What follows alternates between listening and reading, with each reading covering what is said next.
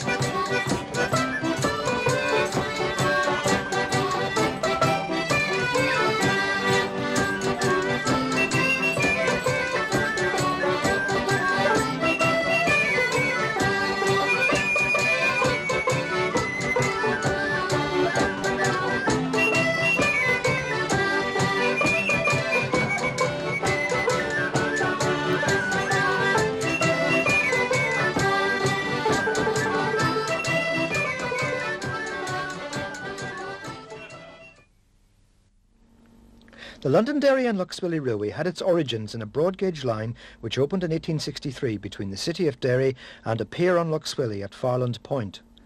The line was extended to Buncrana in 1864. An Act of 1863 authorised the Letterkenny Railway to run over the Swilly's tracks from that town into Londonderry, though some 20 years elapsed before it was built.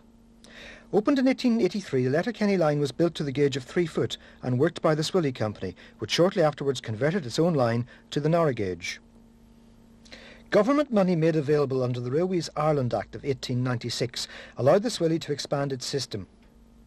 The Buncrana line was extended to Carndonagh in 1901, but it is the extension of the Letterkenny line to Burtonport which concerns us here. But with the extensions in mind, larger locos were obtained. Number 9, originally named Aberfoyle, was one of a pair of 462 tanks built by Kerr Stuart in 1904. The Swilly's big engine policy culminated in the engine we will see on the film, and in numbers 5 and 6, the only 484 tanks ever to run on these islands. These were built by Hudswell Clarke in 1912. Our film Lough Swilly was made by the Reverend Tom Doherty in 1939. We present this unique document in the form in which he made it. It features the highlights of a run from Letterkenny to Burtonport behind one of the Swilly's remarkable 480 tender engines, the only locomotives of this wheel arrangement ever to run on these islands. The Letterkenny and Burtonport Extension Railway was opened in 1903. It ran from Letterkenny for nearly 50 miles through some of the bleakest and poorest parts of Ireland to the tiny fishing village of Burtonport.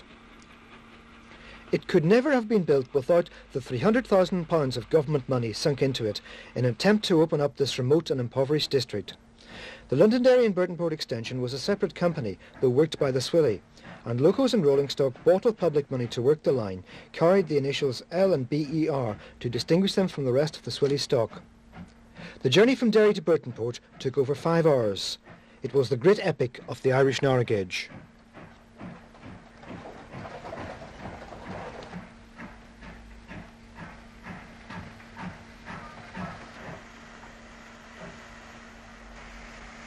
The first part of our journey was filmed in black and white. But suddenly we are experiencing what we believe to be the first ever colour film made of an Irish railway. The Burtonport line closed in June 1940. The wartime shortages of oil for the replacement road vehicles led to the reopening of the section from Letterkenny to Gweedore in 1941. This section finally closed for good in January 1947. The Bedford lorry and the adjacent road, which will follow the train for most of the journey, is a sign that even in this most remote corner of Donegal, the narrow railway had to face increasing competition from road transport. In this barren, rocky landscape, the line climbed to pass through the mountains at a spot known as Barnes Gap. Having crossed over the road, we get a first glimpse of the Owencarrow Viaduct, 380 yards long, the most impressive feat of civil engineering on the whole of the Irish narrow gauge. On the night of January the 30th, 1925, gales howling in from the Atlantic and funneled by the valley down to the viaduct blew two carriages of a passenger train onto the rocky embankment which formed part of the structure, resulting in the deaths of four passengers. The strange, flat-topped Muckish mountain looms over the bleak landscape.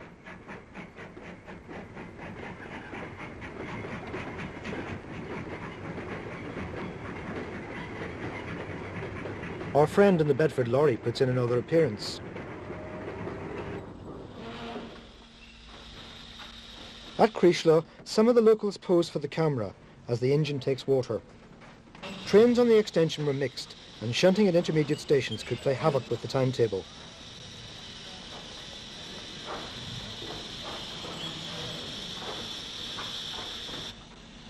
It is interesting to see County Donegal railway wagons on a Swilly train, as the two lines had different buffer heights and brake fittings, and their wagon stocks were mostly incompatible.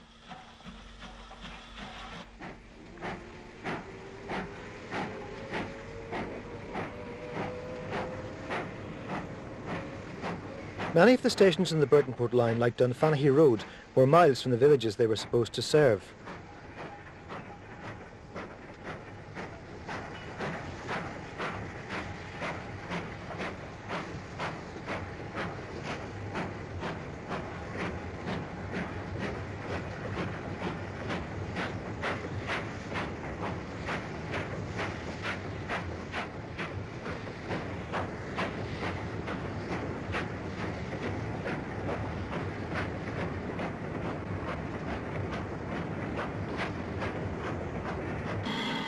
At the stop for water at Crolly, we get some further glimpses of the 480 number 12.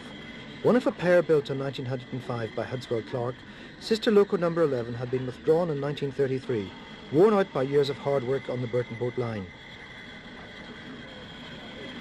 These engines weighed nearly 59 tonnes and had flangeless leading drivers to help them get round sharp curves. Their tenders could carry 1500 gallons of water and 4 tonnes of coal.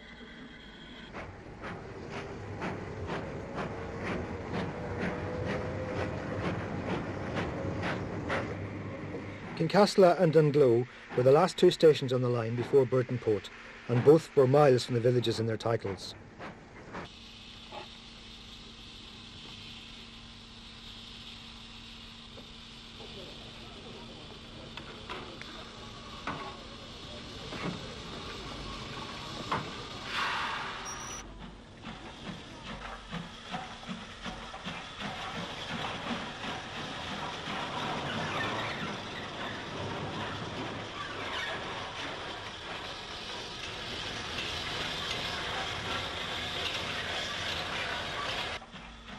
And so we arrive at Burtonport. Number 12 lasted until the end of Lough rail services in 1953. It had little work to do following the closure of this line in 1947. It is a great shame that this magnificent machine was cut up. If it had lingered for a few more years, it would surely have been a worthy candidate for preservation.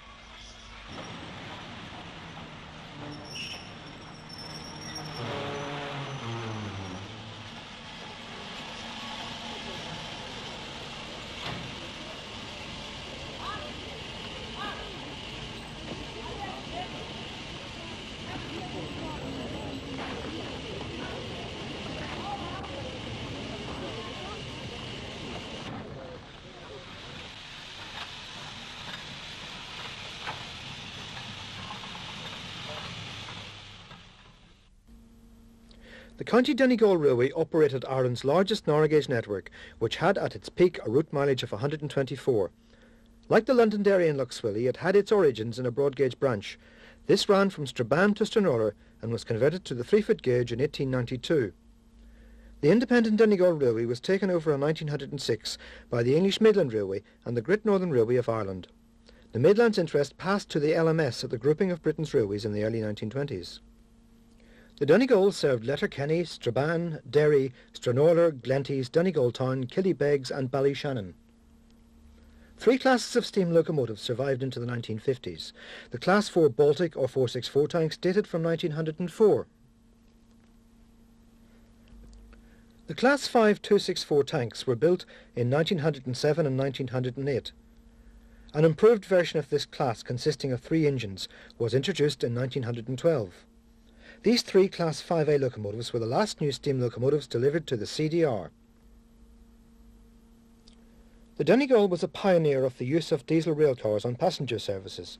We shall see a variety of these distinctive vehicles on our programme ranging from number 10 dating from 1932 seen here to later developments on the basic design which had a power bogie and an engine unit articulated from the passenger saloon.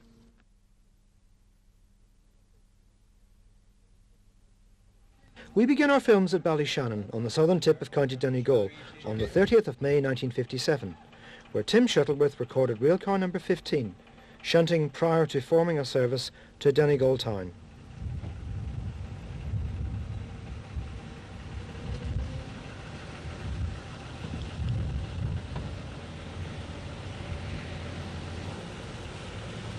Number 15 was built in 1936 and could seat 41 passengers.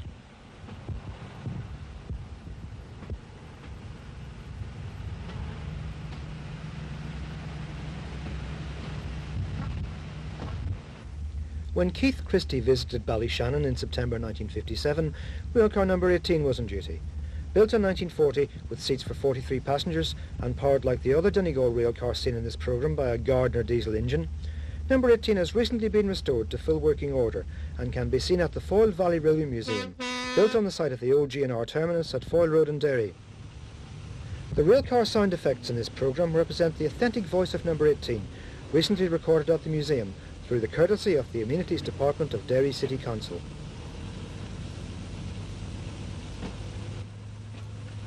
Railcar number 10, seen here at Killybegs, was the first of the diesel articulated railcars to run in Ireland. Supplied to the Clogher Valley Railway in 1932 by Walkers of Wigan, and bought by the CDR on the closure of that line in 1941, this historic vehicle has also been preserved and is to be found in the splendid new railway gallery of the Ulster Folk and Transport Museum at Cultra in County Down. Number 10 was the smallest of the CDR railcars, seating 28 passengers.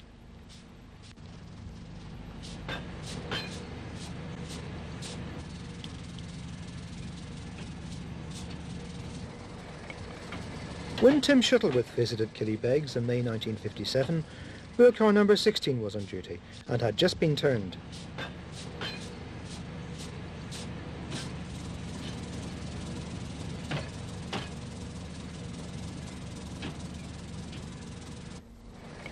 CDR had a policy of waste not, want not.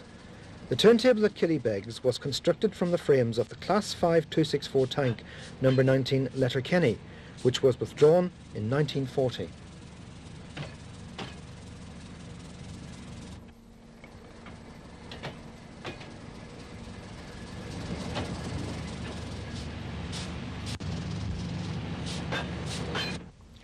The rail cars were powerful enough to haul a coach and a few vans when the need arose. This extended their limited capacity and made for greater operating flexibility. The vans painted in red livery were lighter than normal goods wagons and were designed to be used in conjunction with the railcars.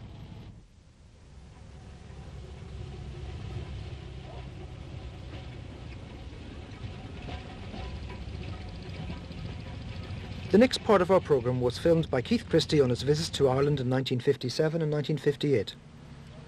Inver was roughly halfway between Killybegs and Donegal town. Railcar number 16 approaches the station on a service from Donegal, hauling a van and one of the trailers designed for use with the rail cars. Inver did not possess a passing loop, but trains could be crossed by running the eastbound service into the goods siding and then reversing it up to the platform when the westbound train had arrived. Railcar number 19 arrives from Killybegs. This vehicle built in 1950 and her sister number 20 which came the following year were the ultimate developments of the Walker railcars for the CDR.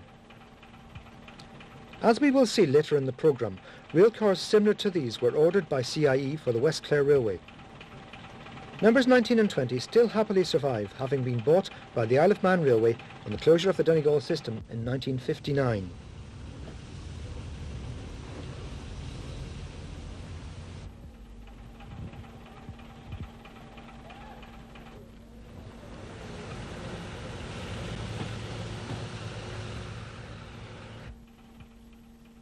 Trains back to back at Inver prepare to leave for Killybegs and Donegal town, the latter being our next destination.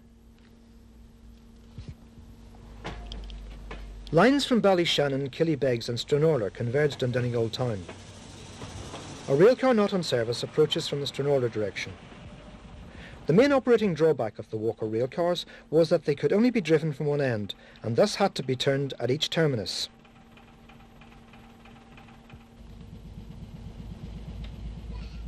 They could not be operated in multiple. If two railcars were used together, each had to have a driver.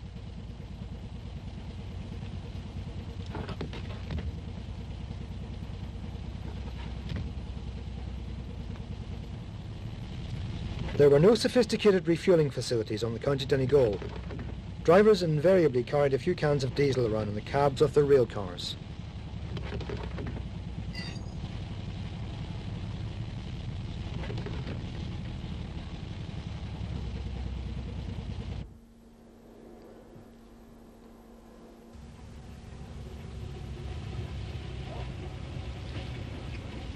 Railcar number 10 arrives at Donegal town from Stranorlar forming a through service to Killybegs.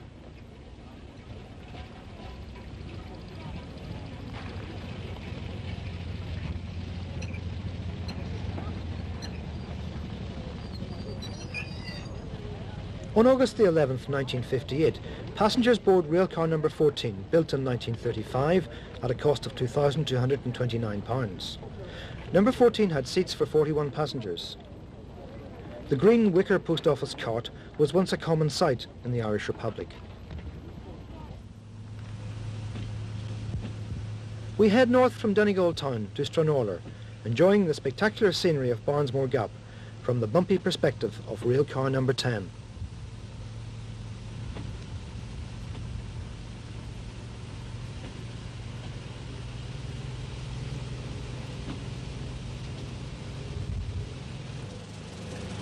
A railcar, a coach and a red van arrive at Stranorlar from Donegal town. The abutments of the bridge which carried the Glenties branch which closed completely in 1952 over the River Finn can be seen in the foreground. Two railcars with number 20 in the lead arrive at Stranorlar with a train from Strabane on August 9, 1958.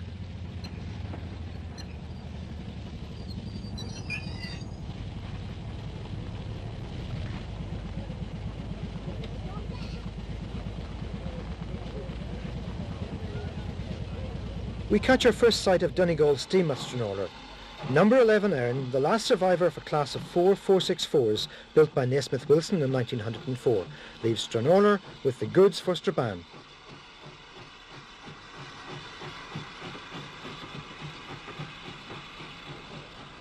Crossing as it did the international border between Northern Ireland and the Irish Republic, Donegal trains were subject to an examination by customs and excise officials. Here at Castlefin, Passengers who have detrained from a railcar from Strabane and their luggage are examined by Irish customs men before continuing their journey to Stranorlar and beyond.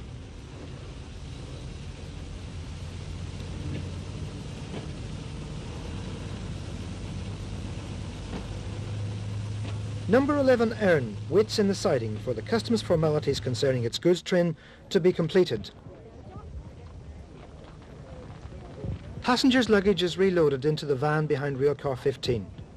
And after the tiresome and tedious delay, which was an everyday fact of life on the CDR, the onward journey is resumed.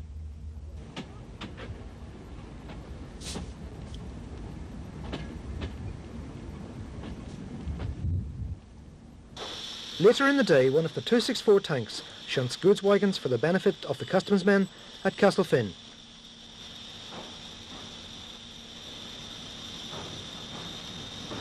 Move on to Strabane, where the CDR met the broad gauge Great Northern Line from Derry to Belfast and Dublin. Here we encounter the Donegal's only diesel locomotive, number 11 Phoenix, built in 1933 as a steam tractor by Atkinson Walker of Preston for the Clogher Valley Railway. As built it was underpowered and virtually useless. On the Donegal, it was equipped with a Gardner diesel engine similar to those used in the rail cars and gave many years of useful service shunting at Strabane. 264 tank number 4 Meenglas arrives with the goods train from Stranorlar. whilst Phoenix waits to dispose of the wagons which the steam locomotive has brought in. As Class 5A Number 2 Blanche waits for the off with the goods to Letterkenny, on the adjacent GNR broad gauge line, a 060 and a 440 head a train of failed rail cars in the direction of Omagh.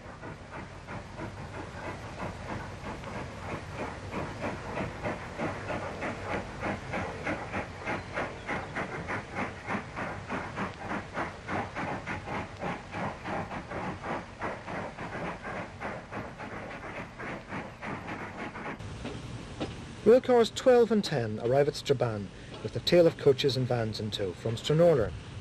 The third coach is one of a set built by the LMS NCC in Belfast in 1928 for the boat trains between Ballymena and Larne on the long closed three-foot gauge system in County Antrim.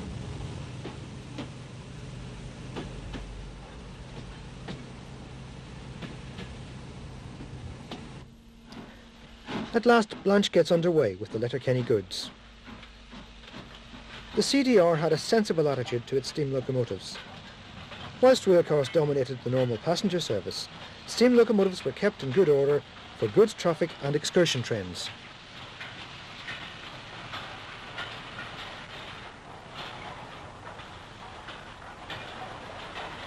County Donegal wagons had continuous brakes. The brake coach at the end of the train was not ballasted like a conventional brake van. It was provided to accommodate the guard.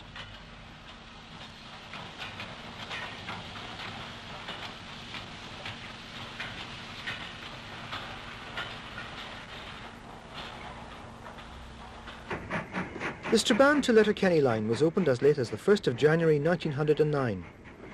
It was the last part of the Donegal's network of lines to be built and was largely funded by the system's joint owners, the Midland and the Great Northern. 264 tank number 6, Columbkille shunts at Letterkenny. On the 9th of August 1958, Blanche brings the daily goods from Letterkenny to Strabane into Raphoe station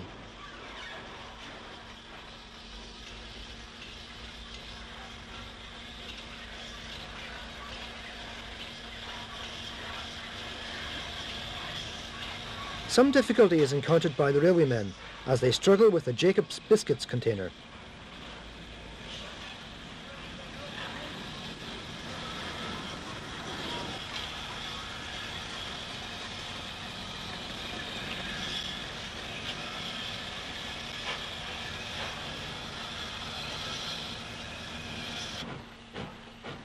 Later in the day, number 4 Meenglas arrives at Raphoe hauling a rail car which then continued to Letterkenny under its own power. Meenglas was on a test run following some repairs. The loco coupled up to railcar number 16, which it then hauled back to Strabane.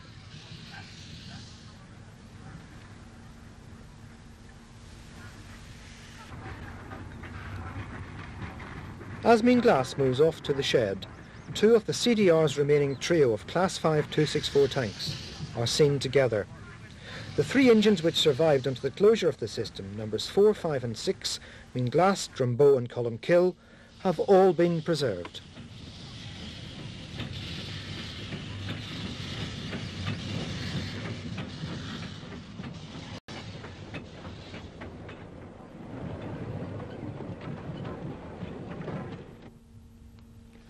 The remainder of our County Donegal footage was shot in the mid-1950s by the late J.H. Roberts.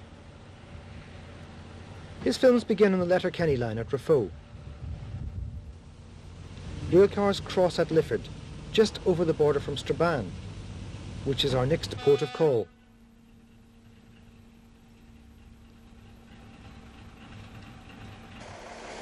The impressive station nameboard from Strabane can still be seen in the new railway gallery at the Cultra Museum. It was almost impossible to visit Strabane without seeing Phoenix shuffling round the yard on its shunting duties.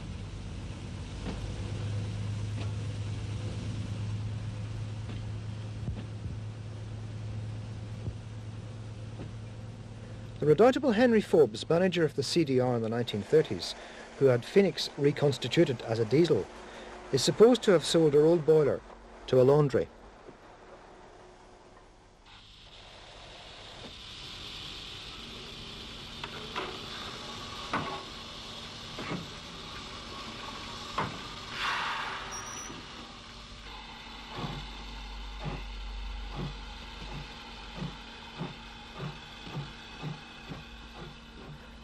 264 tank number 5 Drumbo is about to depart from Strabane with their goods to Stranorlar.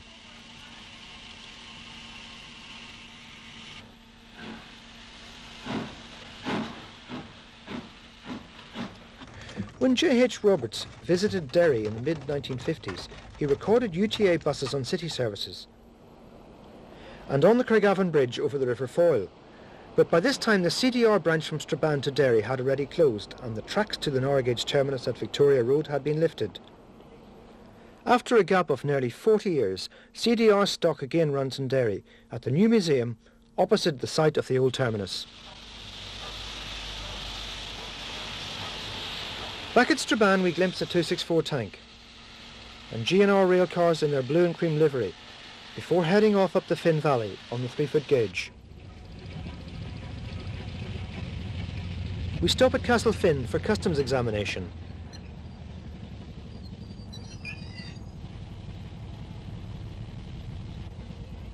And head on to Stranorlar in the ubiquitous railcar number 10. Number 10 terminates at the impressive Stranorlar station. In the bay is railcar number 12, the first Walker diesel supplied to the CDR, which arrived in 1934. To the end, the CDR maintained a sizable fleet of carriages, which were hauled by steam locomotives when special trains or excursions were called for. In a siding is railcar trailer number 3, which began life as a dreary petrol-engined railcar on the Dublin and Blessington Steam Tramway before being bought and regauged by the CDR in 1934. Number 12 moves out of the bay as number 10 shuffles a red van around the station.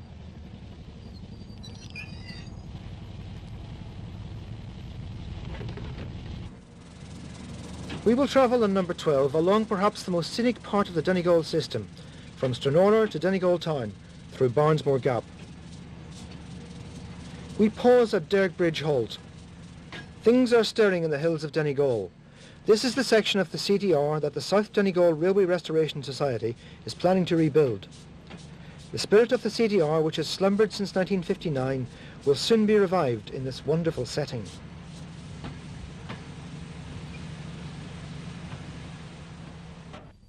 The railcar pauses at Lough Eske, which will be the terminus of the new line. The original West Donegal Railway terminated here for seven years in the 1880s until funds could be found to extend the line to Donegal town.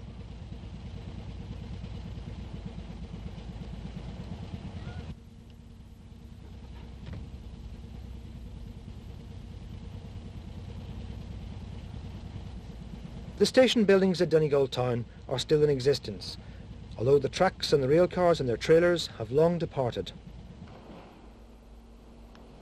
The appearance of the town itself has not greatly changed since the 1950s.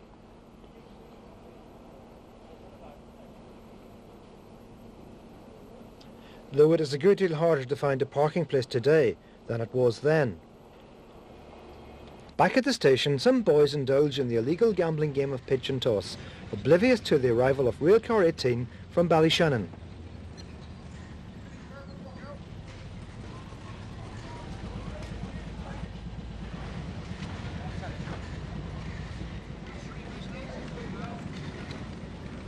Work goes on in the goods yard as railcar number 20 arrives from Killybegs, which is our final destination on the County Donegal.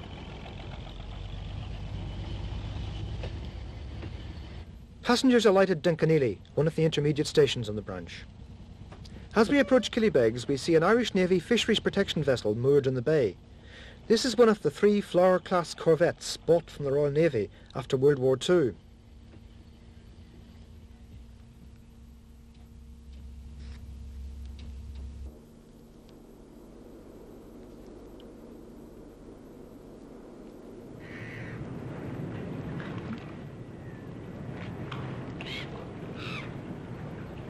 Fish from Killybegs was an important source of traffic for the railway, but ominously a lorry is at the quayside.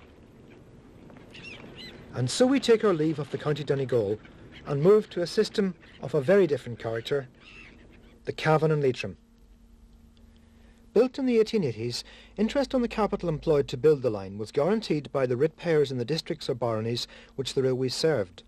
These baronial guarantees were encouraged by the government's Tramways Act of 1883, a potent stimulus to the spread of the three-foot gauge in Ireland. The Cavan and Leitrim main line ran from Dromod on the Midland Great Western Dublin to Sligo route to Belturbet, the terminus of a branch of the Great Northern Railway, from Ballyhaise on its Clones to Cavan line. From Ballinamore, a branch of the narrow gauge ran to Arigna. For the opening of the system, eight 440 tanks were supplied by Robert Stephenson and Company. Several of these, including number two, now in the museum at Cultra, were still active in the 1950s. The Great Southern Railway, which took over the Cavan and Leitrim in 1925, transferred locos from some of its other narrow gauge lines as they closed down, including the four 242 tanks, which formed the complete stock of the Cork Blackrock and Passage line, closed in 1932. From the Tralee and Dingle Railway came 260 tank number 3 in 1941. Sister engine number 6, a Hunslet 260 tank dating from 1898, came to the C&L's headquarters at Ballinamore as late as 1957. We begin our travels at Dromod, the southern terminus of the line. These scenes were recorded by Keith Christie on August the 11th, 1958. Number 12, the ex-Cork Blackrock and Passage engine, is making up her train. The large driving wheels of these engines were designed to give them a decent turn of speed on the suburban services into Cork for which they were designed. On the face of it, they were unsuited to the Cavan and Leitrim, but they performed gallantly on the line from Dromod to Belturbet, two lasting until the end of the system in 1959. They were not allowed to work on the Ballinamore to Arigna line. The train calls at Derreen, the first station beyond Dromod,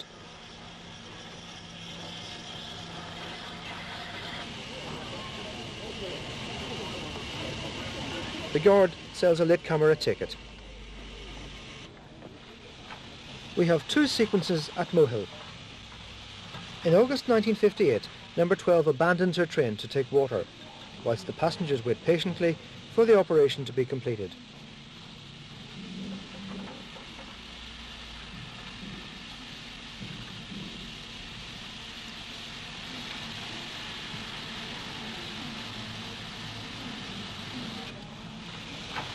In February 1959, just a few weeks before the line finally closed, the former Tralee and Dingle engine number 6 is on duty. Cavan and Leitrim trains were mixed, and shunting often took place at stations along the route. Patience was indeed a necessary virtue for passengers in this line.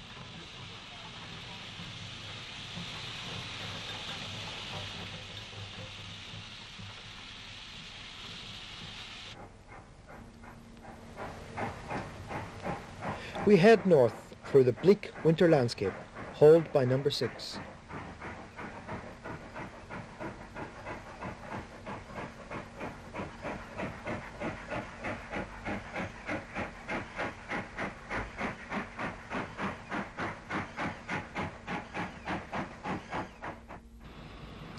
Ballinamore was the line's headquarters and the junction for the Drumshanbo branch, more commonly referred to as the Arigna Tramway.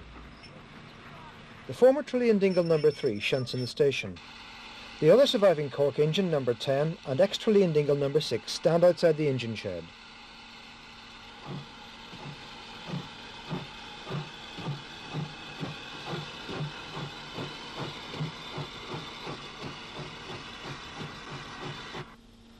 The reason the Cavan and Leitrim survived so long was that it served one of Ireland's rare deposits of coal, which was found at Arigna, even in the late 1950s, traffic from the mines could be very heavy, with extra coal trains often required.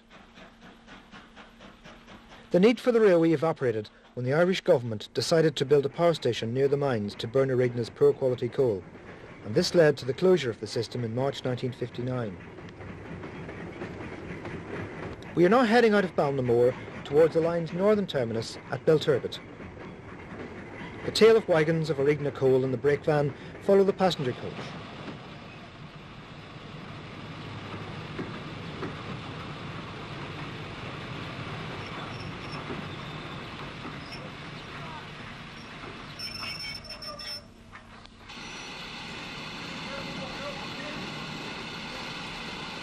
The engine takes water at Ballyconnell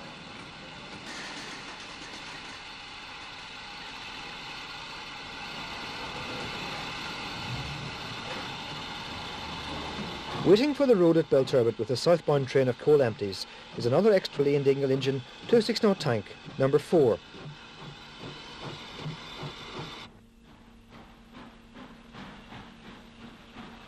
This train was later recorded steaming across the bridge over the River Erne, not far from the station. At Belturbet the coal had to be shuffled by hand from narrow gauge to broad gauge wagons. The Great Northern 060 will later take the coal on, probably to the cement factory at Drogheda.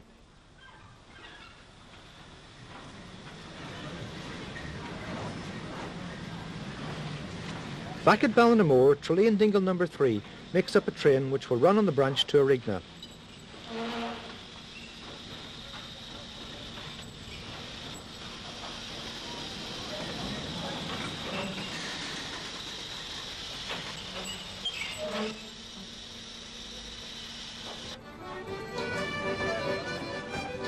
Much of its length, this branch was a roadside tramway, though the first section out of Ballinamore did have its own right-of-way.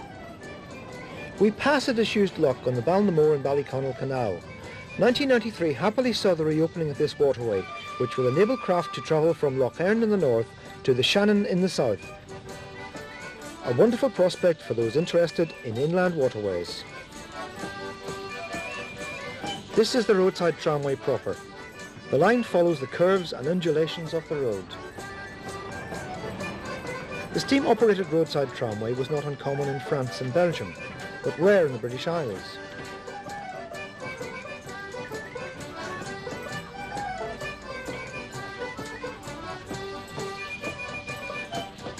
Ominously, a lorry speeds past the train.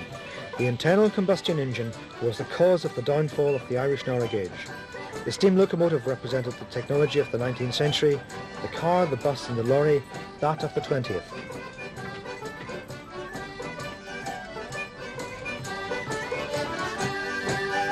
These scenes were filmed in February 1959, by which time the coal traffic had already finished.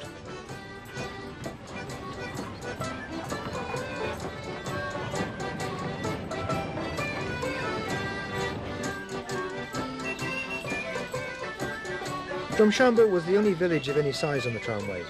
Number 3 takes water before continuing to Arigna.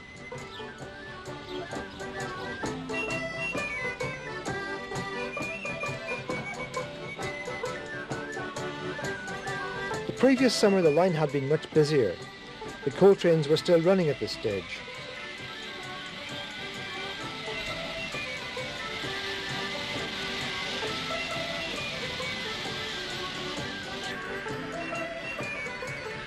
In August 1958, number 3 was again replenishing her thirst at Drumshanbo.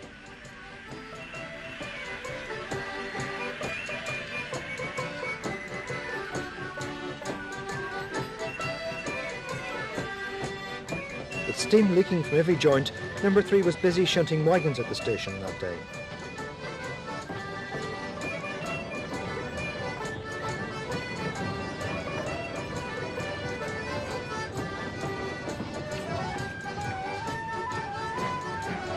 The final stretch to Arigna on a day of very heavy showers, a permanent way gang resumed their work after the passage of our train.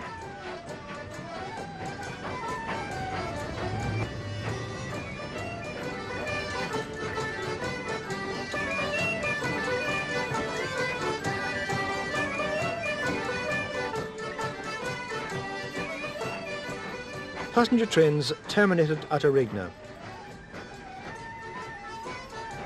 Number 3 is turned and later in the day brings a loaded coal train down from the mines along an extension built as late as 1920.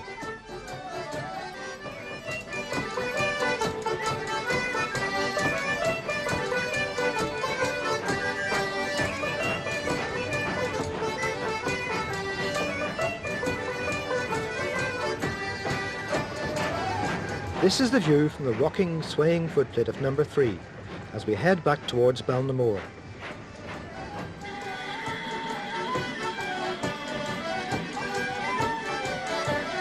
We negotiate one of the ungated public road crossings on the tramway, where accidents between trains and road vehicles were not unheard of.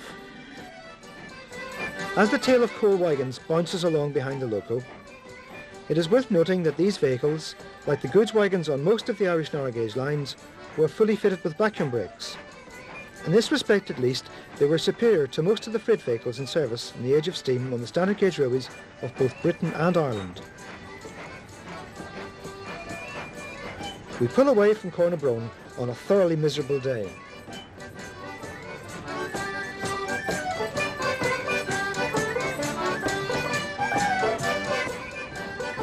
The rain desists, at least for a while.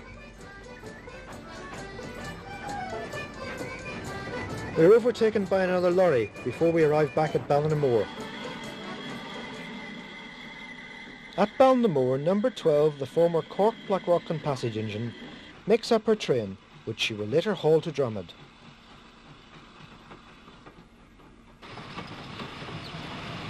As number three shunts the coal wagons she has just brought down from the mines, we say farewell to the Cavan and Leitrim Railway.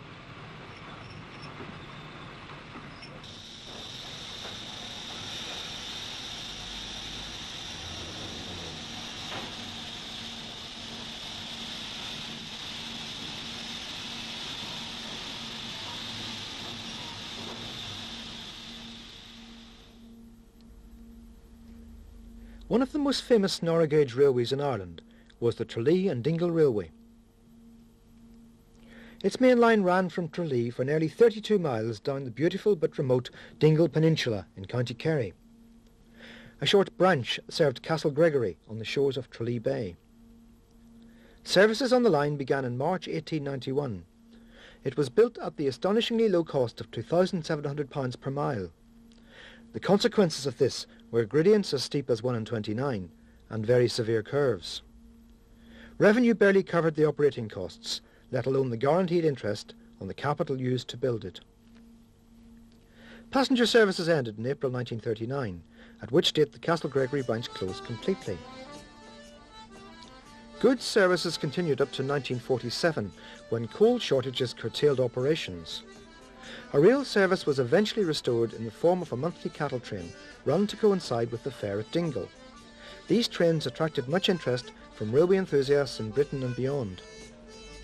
The cattle trains ended in June 1953. In that month, a valedictory special train was organised by the Light Railway Transport League and the Irish Railway Record Society. J.H. Roberts was a passenger and recorded what was almost certainly the last passenger train on the line. The locomotive which hauled the special was number 8, a 2-6-knot tank built by Hunslet in 1910. Following the closure of the Tralee and Dingle, number 8 went to the West Clare Railway, but there it was rendered redundant by the complete dieselisation of that system, and it was scrapped in the mid-1950s.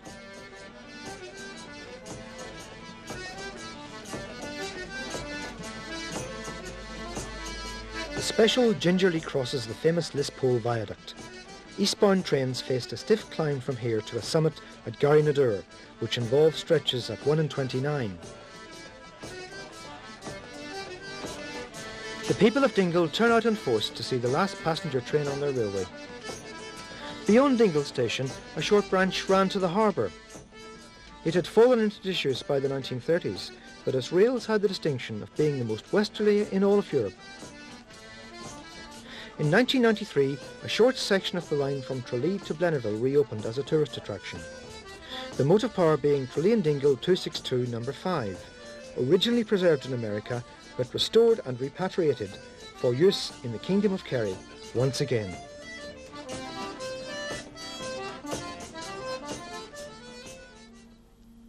By way of a complete contrast with the grass-grown tracks of the Tralee and Dingle, we conclude our programme with a visit to the only Irish three-foot gauge line to be completely dieselised. The line ran from Ennis to Kilkee, with a branch from Moyasta Junction to Kilrush. In the early 1950s, CIE bought four Walker articulated railcars for the line's passenger services. These were similar to the County Donegal railcars numbers 19 and 20, which we saw earlier.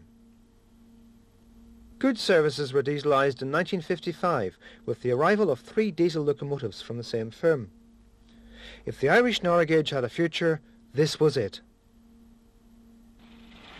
We're travelling on the broad gauge line north from Limerick behind one of CIE's C-Class Crossley engine diesels. The silver livery in which these locos were supplied soon got into a terrible state and was quickly abandoned.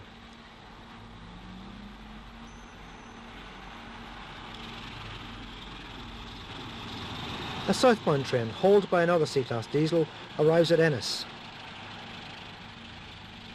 where later we have a contrast between broad and narrow gauge rail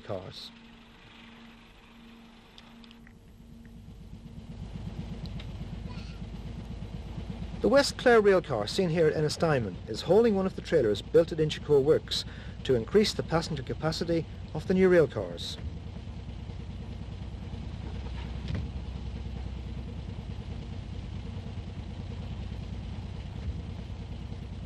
There were a great many level crossings on the West Clare. The station master at Moyasta Junction alone had no less than five under his control.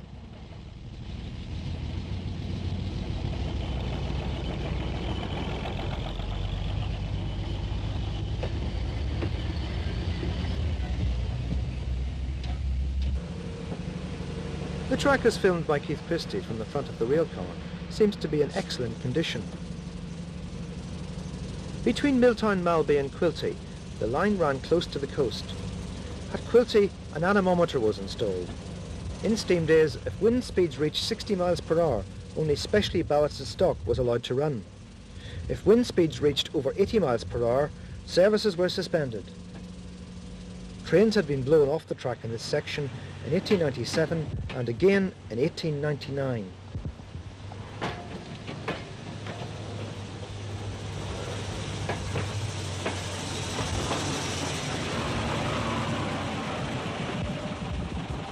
Moyasta was the only triangular junction on the Irish narrow gauge. Trains from Ennis usually ran through to Kilkee, with a connection being provided from the junction to Kilrush. A through line was provided to enable trains to run direct from Kilrush to Kilkee. In the diesel era, this connection was used to turn rail cars which had come up from Kilrush. Like the Donegal rail cars, those on the West Clare could only be driven from one end.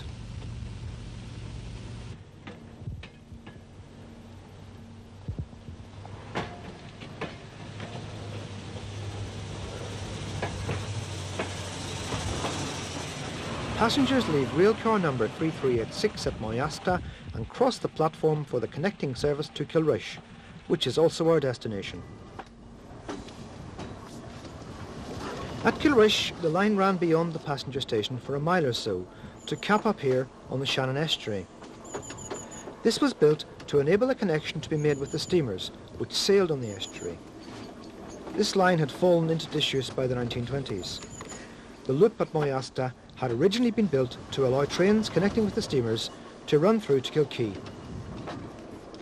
At Kilrush, one of the West Clare's trio of diesel locomotives is making up a freight train prior to departure to Ennis.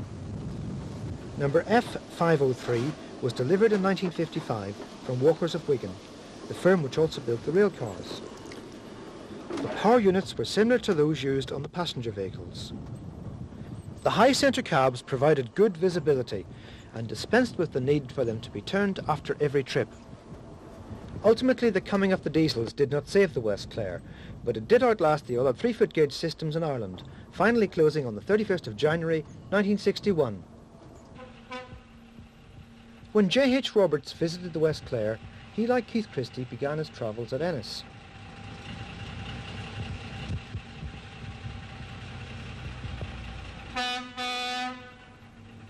The rail car on this occasion was hauling one of the trailers built at Inchicore and a van.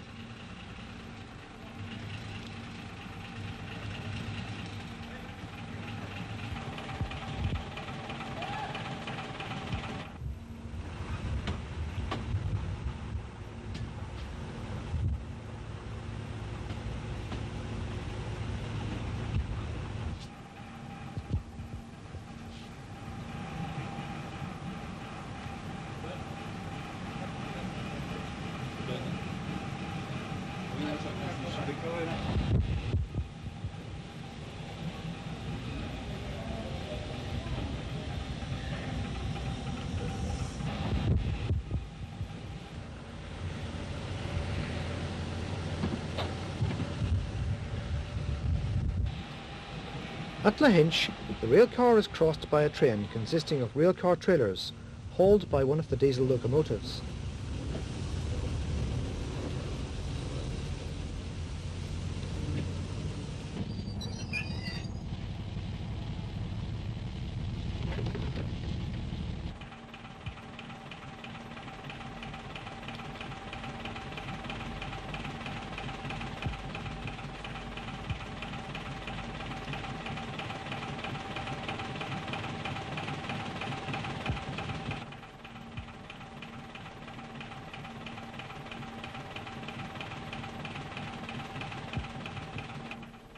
Moyasta Junction, another of the diesels is encountered, this time on freight duties.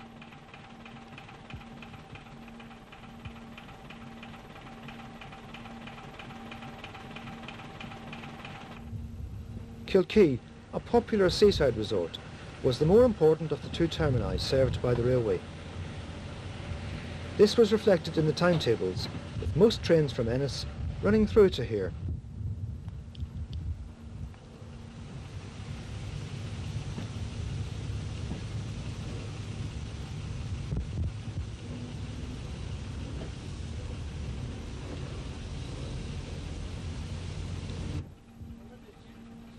After a spot of shunting, the railcar goes off to be turned on the turntable outside the old engine shed.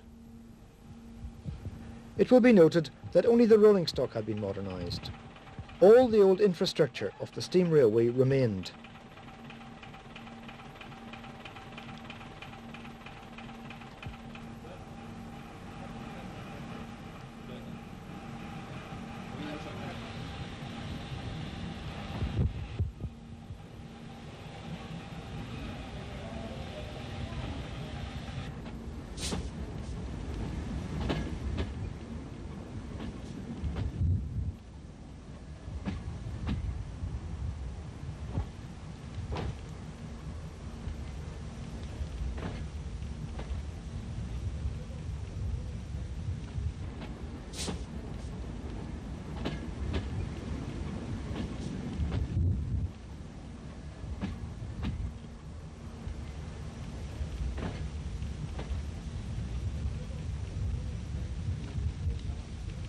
Reunited with his trailer and van, the railcar heads off back towards the junction and ultimately on to Ennis.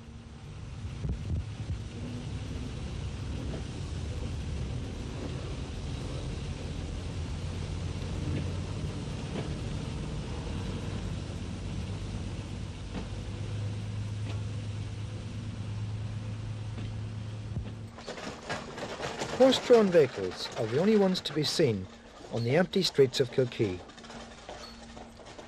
These scenes and those which J.H. Roberts filmed at Kilrush enables us to put the clock back and look at another world which no longer exists.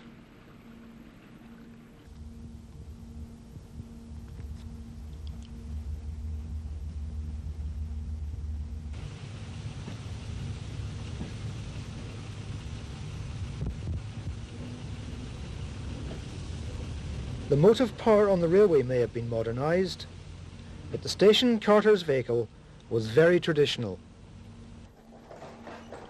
These scenes at Kilrush show a slower, gentler, quieter world and perhaps make us think how much we have had to give up in return for the convenience of the motor car.